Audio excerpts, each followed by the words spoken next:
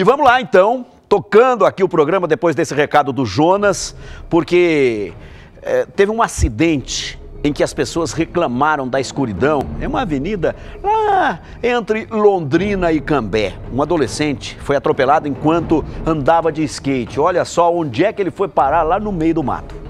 O atropelamento aconteceu na Avenida Maratona, no Jardim Maracanã. O adolescente de 14 anos foi atingido por um carro que fugiu do local. Equipes do CIAT e também do SAMU foram para atender a ocorrência. Soldado S. Ricardo, a princípio, a, o auxílio do SAMU foi necessário porque a informação chegou de que o adolescente estaria em estado grave.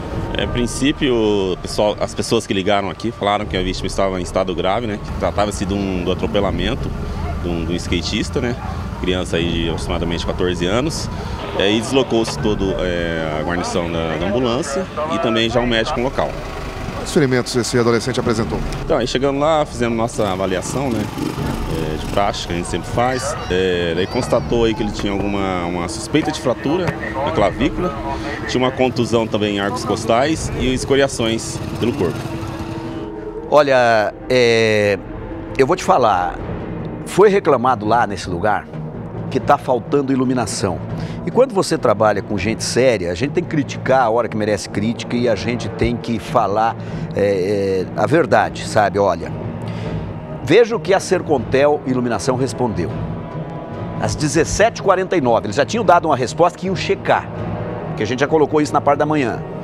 Informamos que o diretor de operações da Sercontel Iluminação, Tiago Caetano, esteve na rua Tosh, é, Toshio Sanada é porque tem uma outra reclamação de iluminação também. E Avenida Maratona na tarde dessa sexta-feira, como havíamos nos comprometido hoje pela manhã. Lá foi constatado a necessidade de substituição de várias luminárias realmente. A equipe técnica da Sercontel Iluminação fará substituições das luminárias até a próxima semana. Então encaminhei para a Sercontel, o pessoal disse que ia checar e já em torno de quatro ou cinco horas depois, respondeu que foi checar e que realmente está precisando. Então esse é o tipo de serviço público que nós precisamos, está de parabéns aí a Sercontel Iluminação. A gente espera que logo, logo a coisa engrene e que não precise nem colocar mais aqui na televisão. É que estava tudo muito atrasado nessa área também.